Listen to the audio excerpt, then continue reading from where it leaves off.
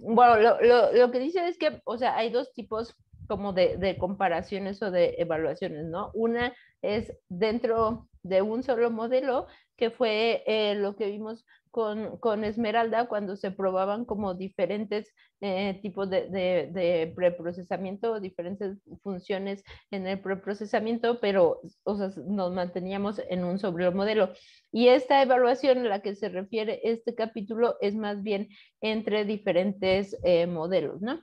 Y esa pues es within model o between model. Y, ok. Y dice que, o sea, que pues para cada uno de los modelos con nuestros remuestreos, esperen, creo que ya. Eh, ya, ok. Para cada eh, modelo con nuestros remuestreos vamos a tener pues diferentes estadísticos, ¿no? Y eh, en los que nos vamos a querer, querer fijar para así poder comparar los modelos. Ok. Entonces, lo, o sea, lo, primero que tenemos que hacer es crear workflow sets en donde vamos a tener todos nuestros modelos juntos.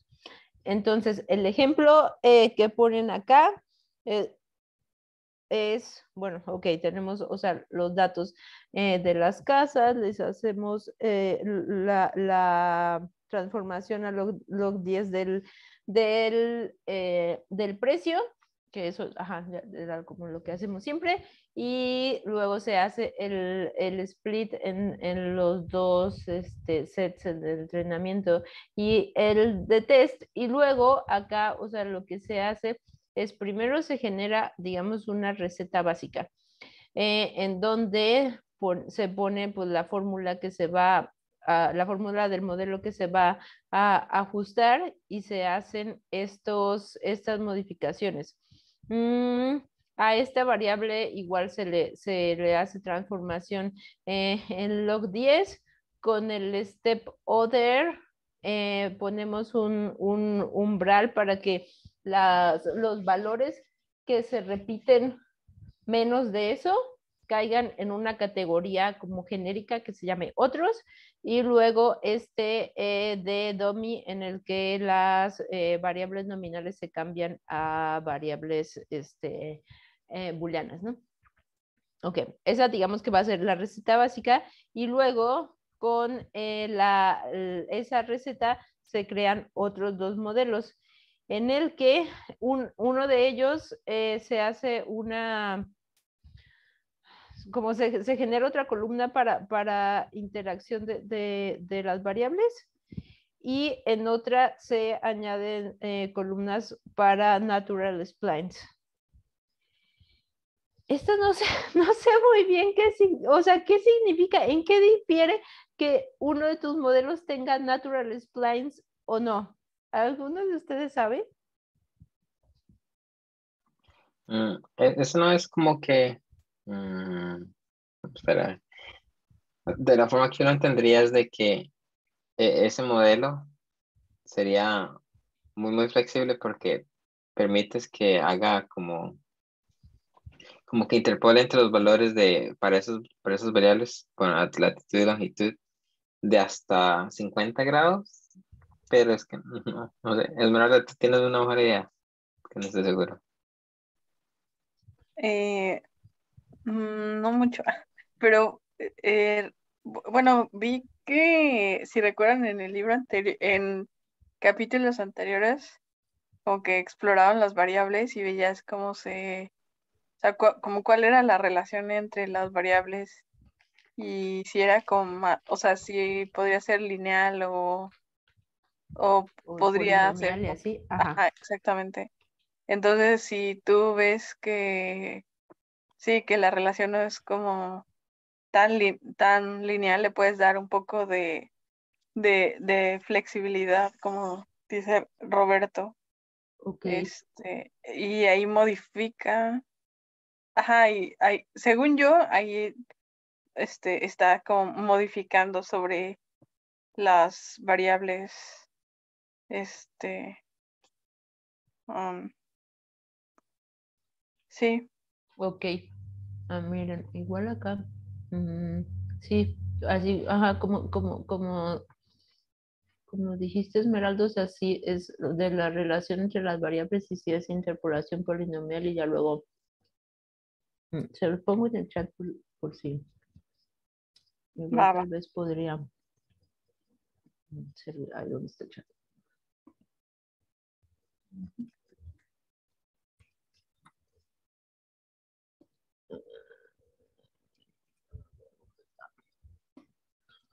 Bueno, ahorita que encuentre el chat.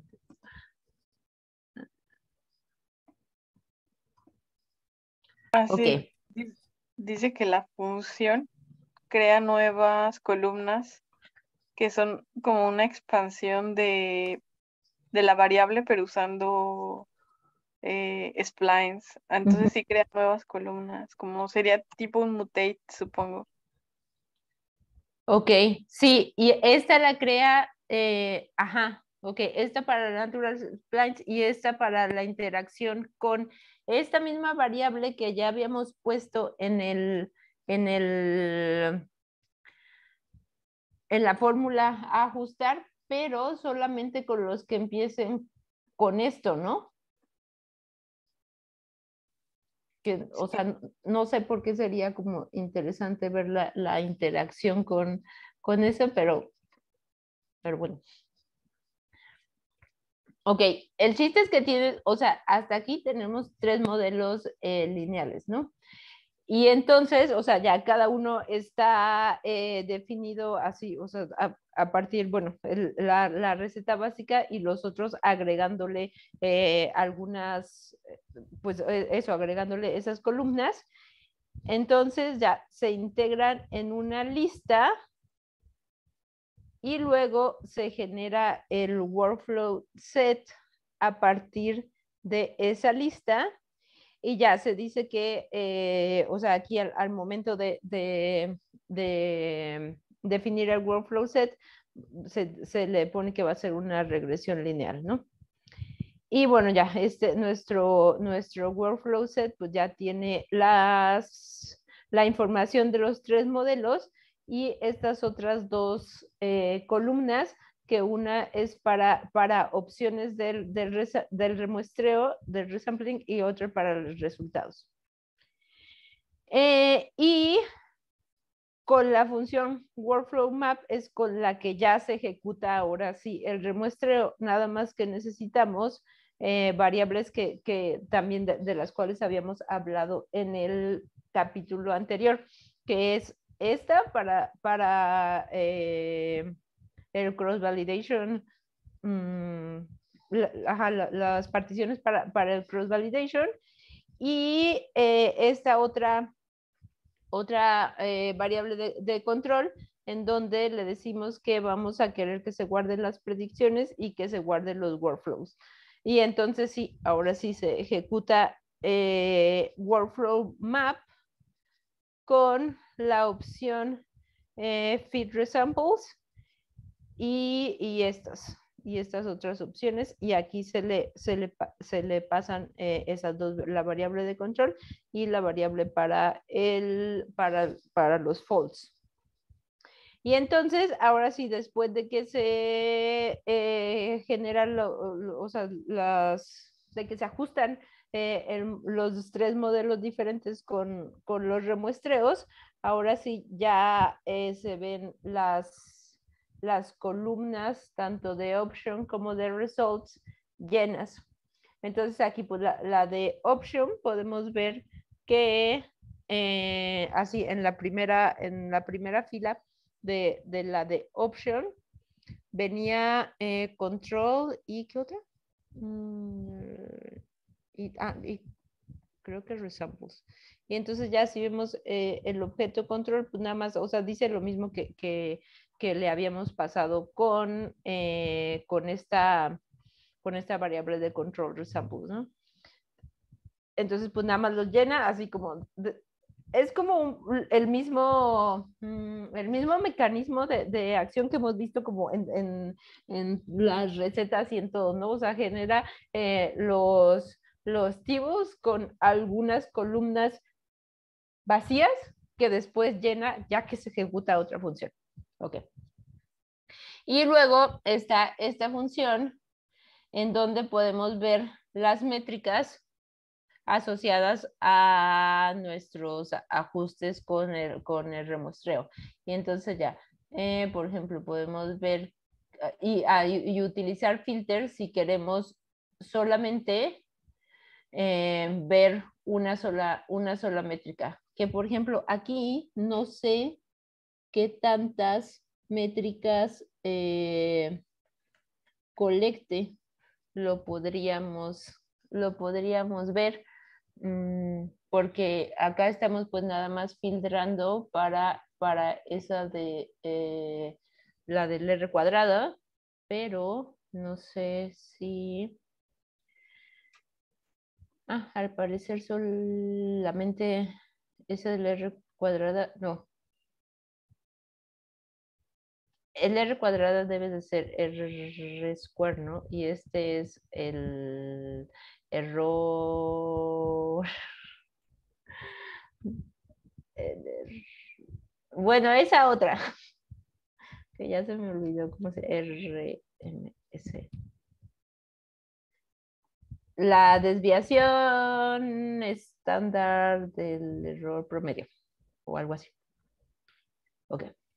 Entonces, pues ya podemos concentrarnos solamente en una sola métrica eh, si queremos este, nada más ver, ver esa, ¿no? Ok. Entonces, eh,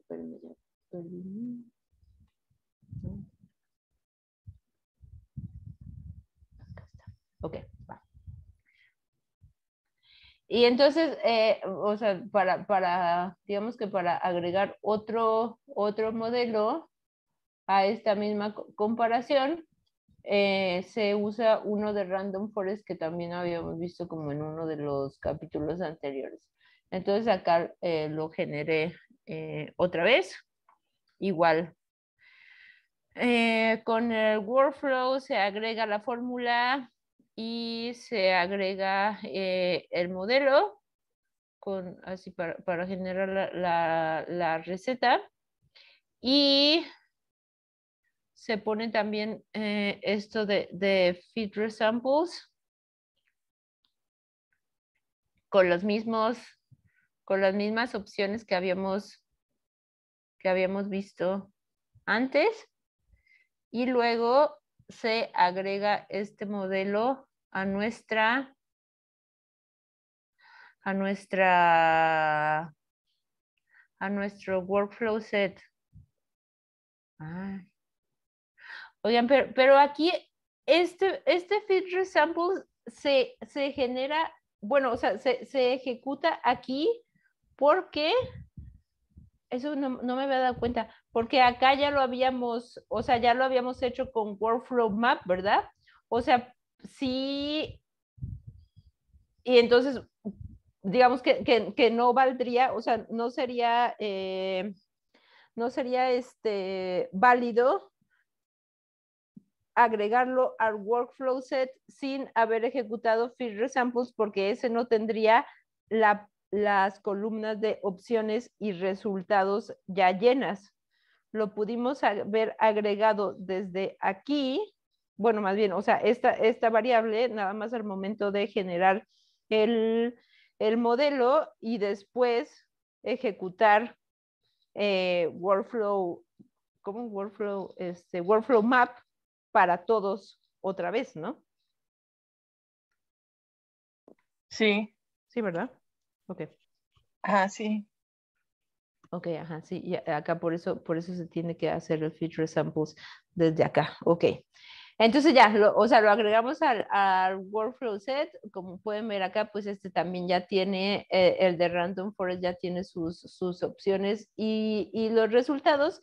Y entonces ahora sí eh, podemos ver los resultados de los cuatro, de los cuatro modelos.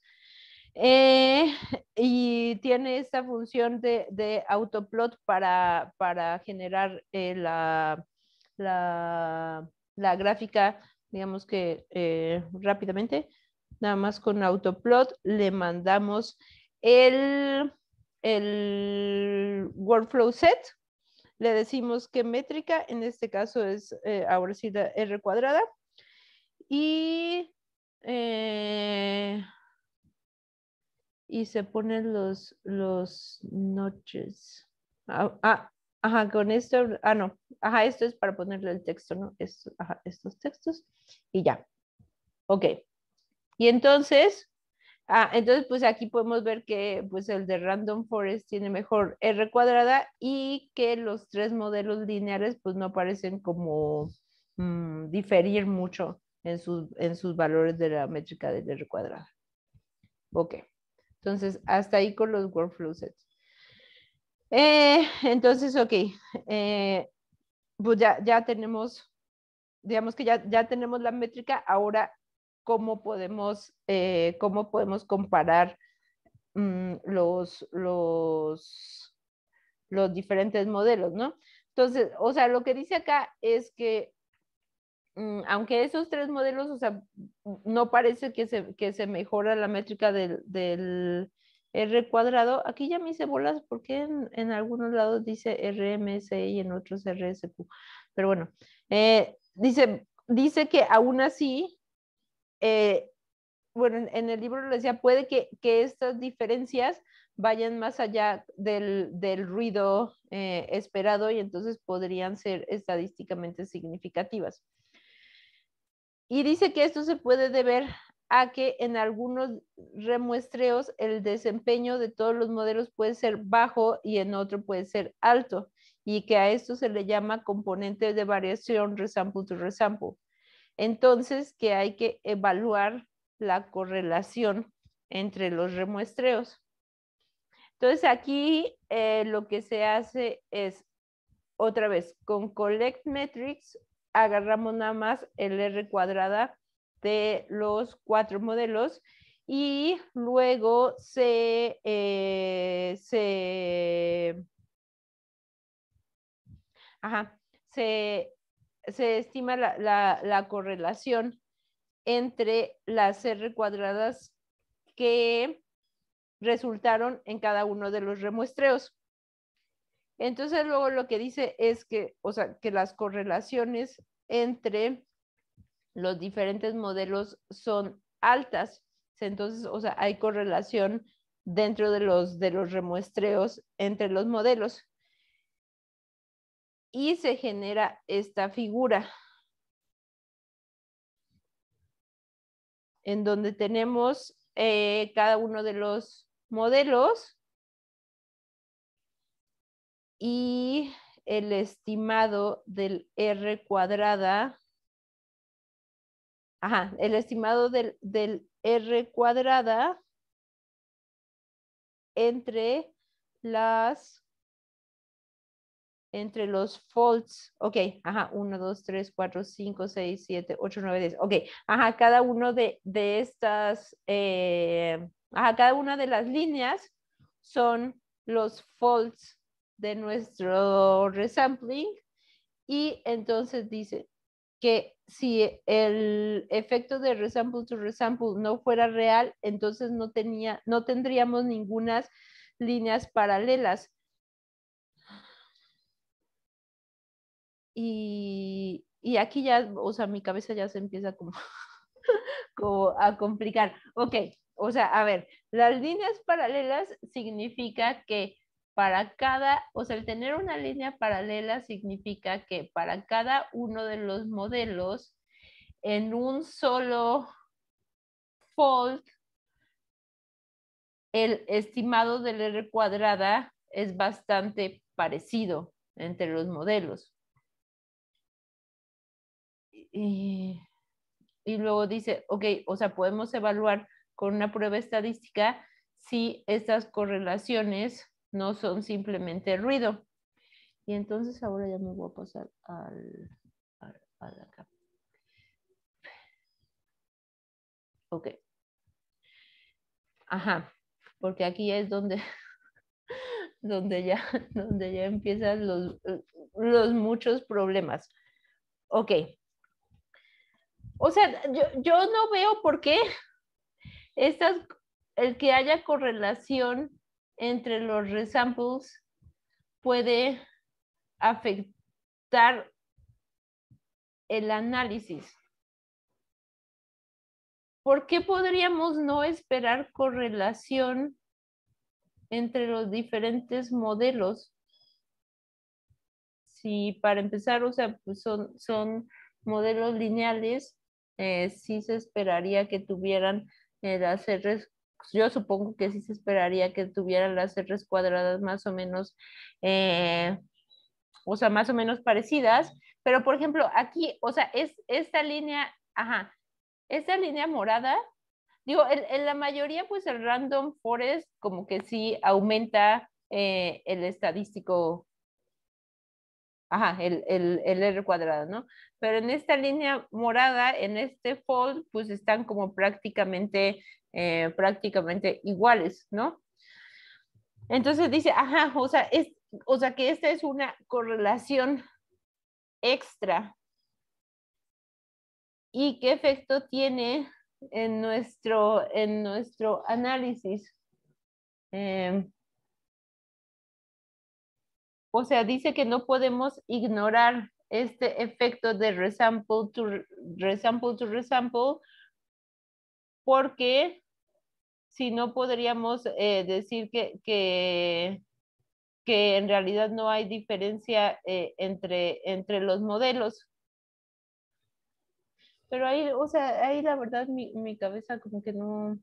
Mm, no, la neta, o sea, no, no, no le entiendo bien por qué es tan importante esta, esta correlación. No sé si ustedes le entienden ahí. No realmente, pero me estoy preguntando si será por la forma en la que se calcula la, como la última métrica, o sea, la, cuando hace el autoplot, quizá, como de la, la diferencia entre,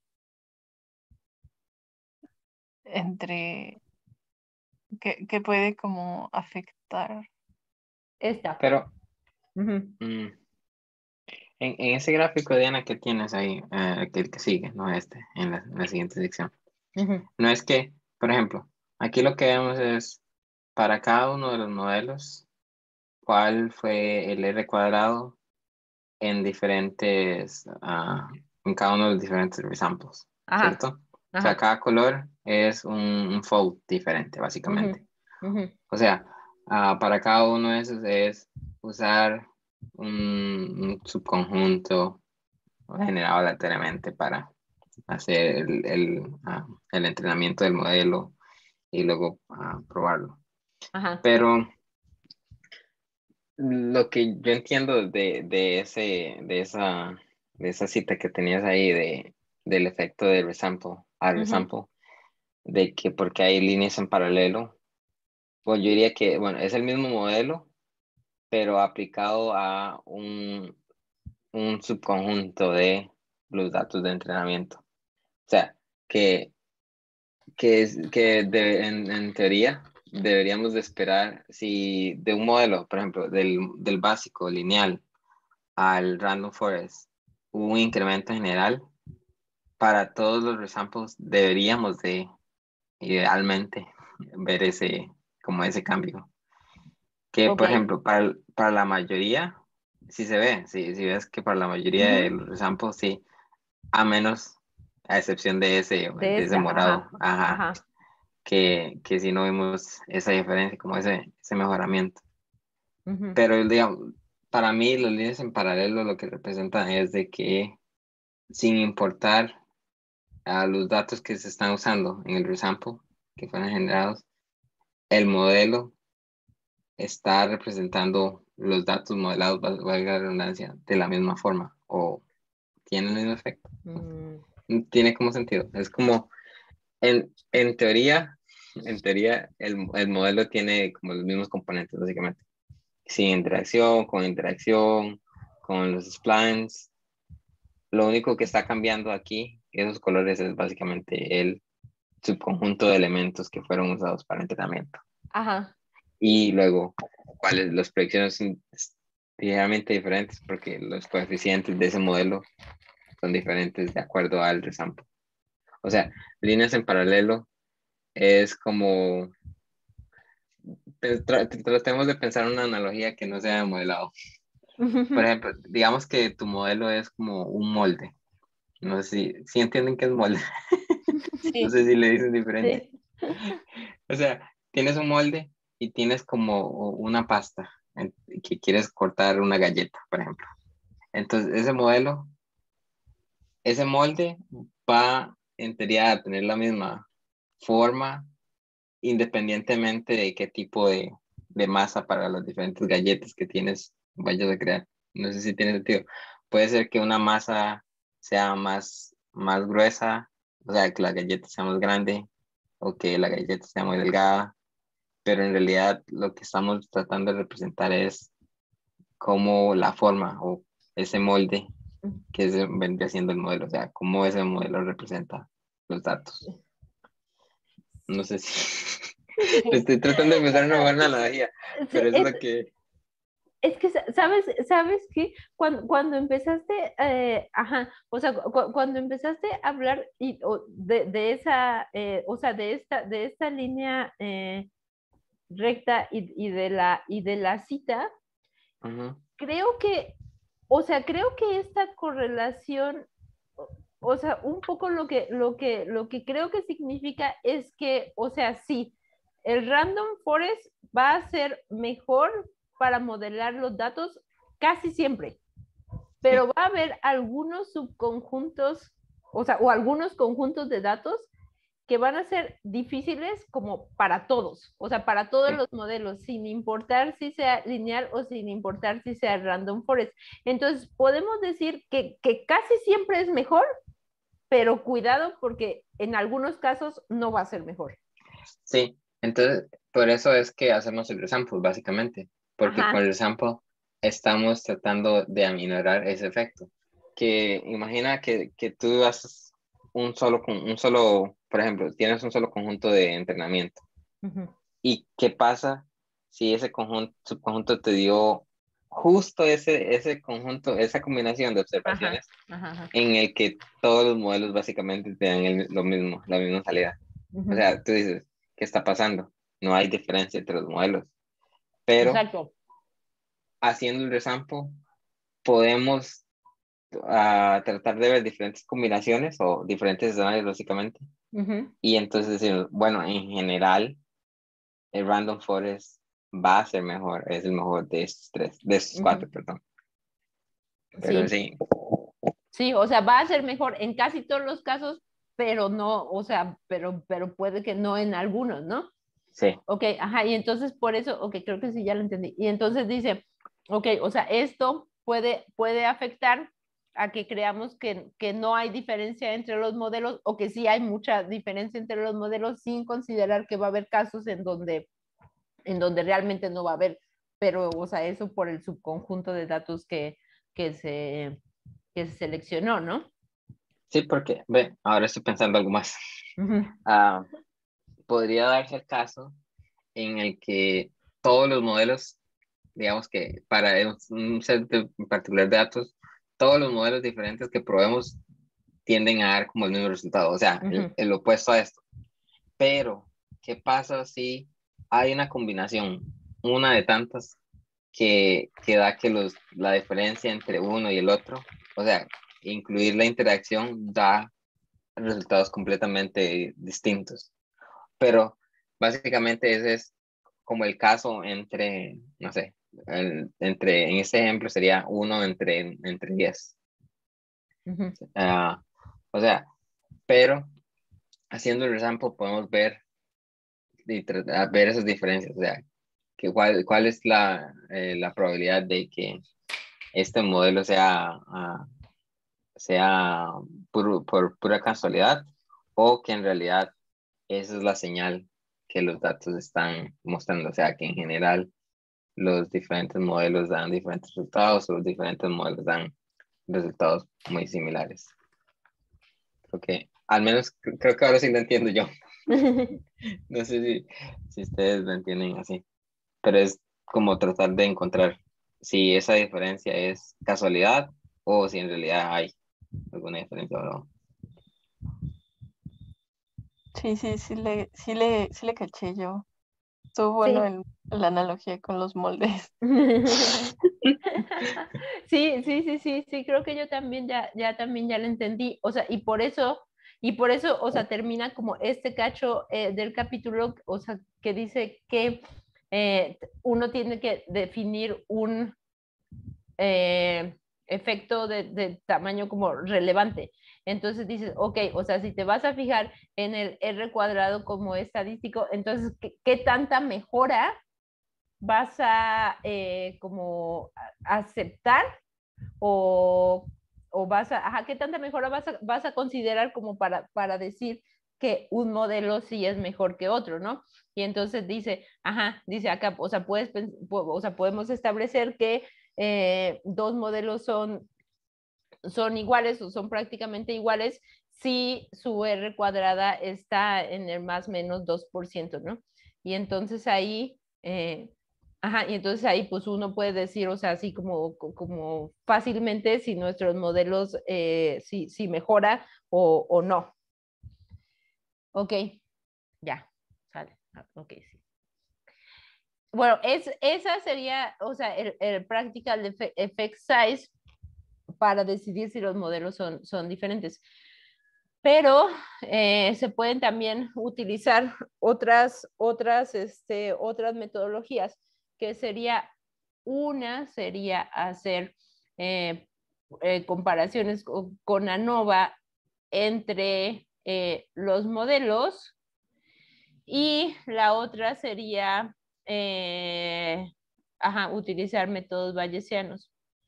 Entonces, bueno, esto ya no lo alcancé a, pasar a español, pero si quieren lo revisamos. Digo, también, la verdad yo soy muy mala para todas las cosas de estadística. Entonces, eh, ajá.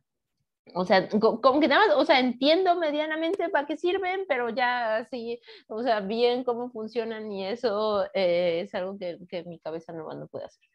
Ok, entonces, bueno, eh, acá, o sea, eh, nos, nos, está el, el modelo eh, estadístico, el, perdón, el, el, modelo lineal y entonces eh, con ese es con el que se hace eh, el análisis de, de, varianza o el ANOVA para, para comparar grupos, ¿no?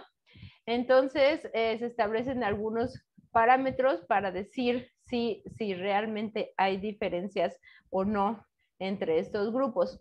Entonces, ok, dice, eh, en este caso, pues podemos utilizar ese, ese análisis de varianza para, para ver las comparaciones eh, entre los modelos.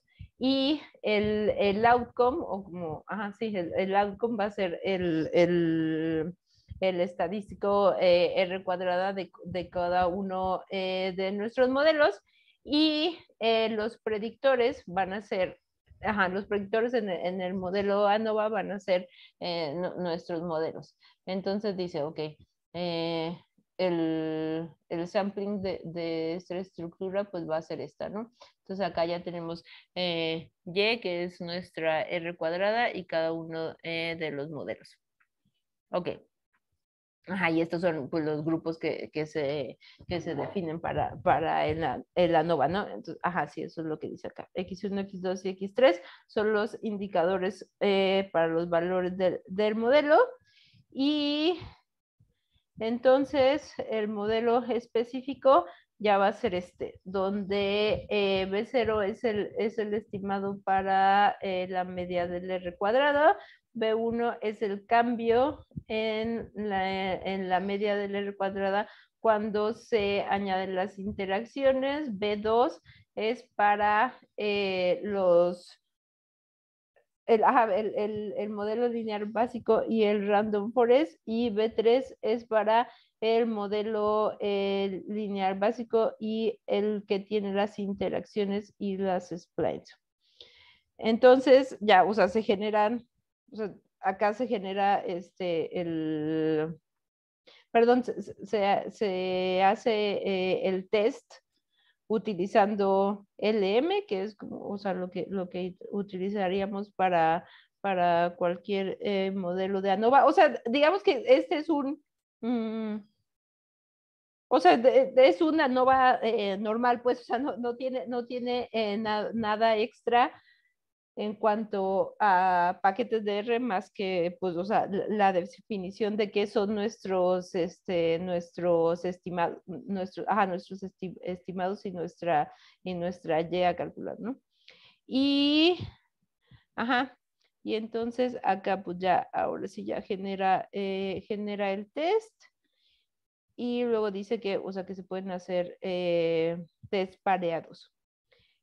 Y entonces, eh, la P que sale, pues es menor a 0.05, entonces dice que son eh, estadísticamente diferentes, pero, ajá, y entonces, ajá, son, son, estadísticamente diferentes y entonces, o sea, parece, parece que sí, que el añadir el término, eh, no, ajá, que añadir los, los splines sí tienen un efecto eh, de mejora en la R cuadrada, a pesar de que, eh, de que no, no parecía que lo hubiera, pero la diferencia se estima en el 0.91%. Y entonces, o sea, si tomamos esa regla del 2%, eh, pues no consideraríamos que esos términos eh, fueran realmente, realmente diferentes.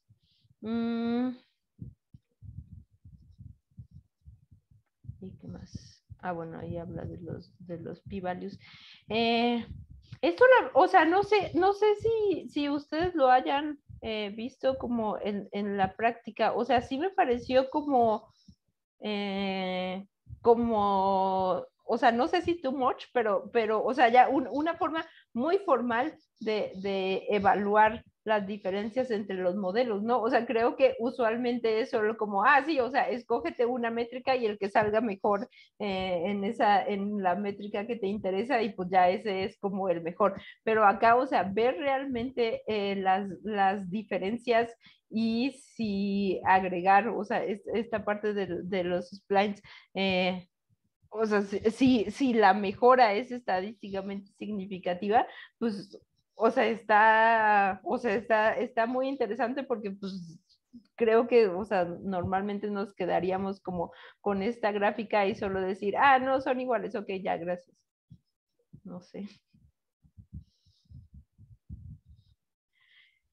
Y luego, eh, ah, perdón, Esmeralda. No, solo iba decir que sí, bueno, o sea, sí, yo creo que sí, porque vi algunos como varios videos para escribir mi código y, yo creo que no, no vi a ninguno que hiciera realmente estas pruebas. Pero está, está bueno, ¿eh? Está bueno. Pero me pregunto si a medida que incrementas el, el resampling, vas a necesitar menos, por ejemplo, probar que son diferentes, significativamente uh, diferentes. Mm, ahí no, no sé porque creo, que eso venía como en, el en el capítulo pasado, ¿no? Cuando habla del bias de high bias, de, high bias o low bias y, dice que, o sea, que prefieren, eh, se prefieren faults de, más de 10 porque, eh, ¿cómo era? Que, que el ruido lo puedes Ah, lo puedes como, como reducir. ajá. ¿No? Algo, algo así releí hace ratito. Mm.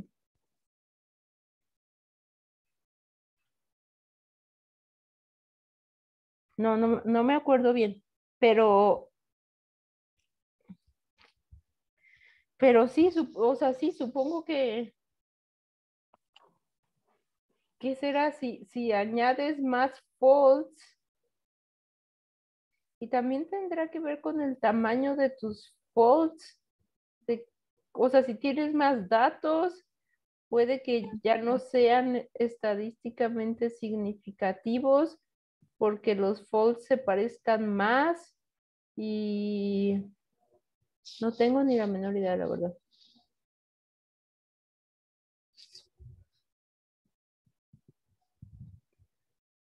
Sí, pero está bueno. Sí. Qué bueno probarlo. Sí, sí, sí.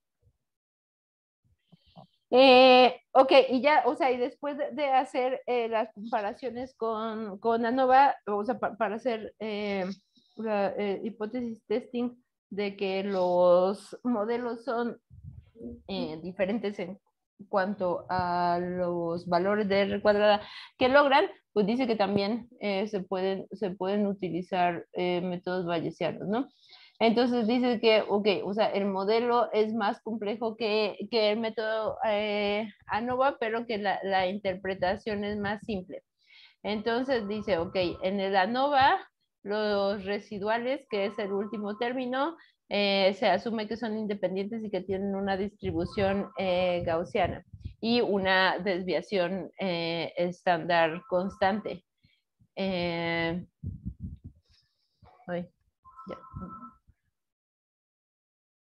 Esperen, es que déjenme contestar porque, ah, no, ya se cayó. Eh, es raro porque mi mamá todavía tiene teléfono de la casa y nadie marca, pero solo de repente como que para hacer encuestas o cosas así.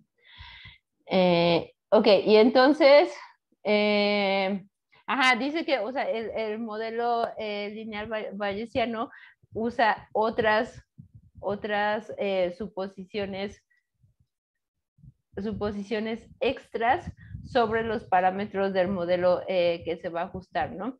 Y entonces, eh, los priors significa, en, este caso los priors dice que mm, nuestros residuales van a ser eh, positivos y con valores entre 0 y, menor, menor a 3 o 4 Mm, los parámetros de la regresión van a tener una eh, distribución mm, white con desviación estándar de 10 y